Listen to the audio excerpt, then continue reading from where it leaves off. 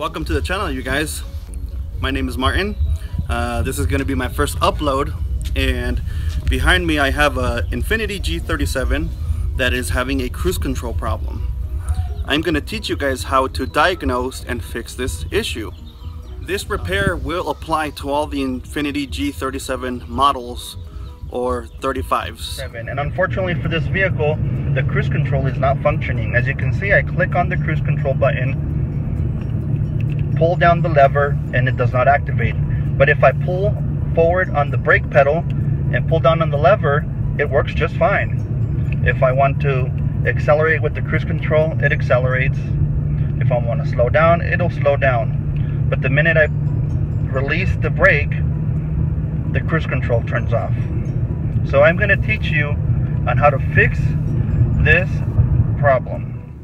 So here's the brake pedal and the accelerator. When you press the brake pedal, right, there's a switch there that is telling the cruise control to cancel. When you release the, the brake, it pushes on that button. If that button is not pressed far enough, it's not going to work. So the way to fix this is by adjusting the nut that is in that switch.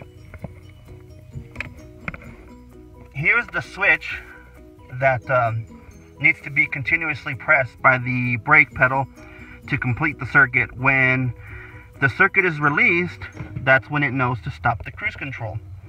So what I had to do is pull this off so I can break this nut loose and then just adjust it properly engaged by your brake pedal.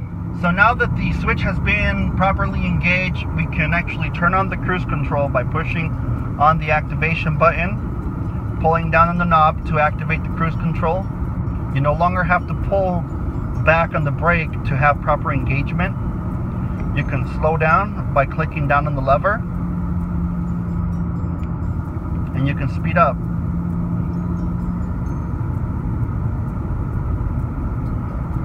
works perfectly. So this concludes the repair on the 2009 Infiniti, which will cover any G35s, 37s, um, and most Nissans. Thank you so much. If you guys like the video, please uh, subscribe, like, and share.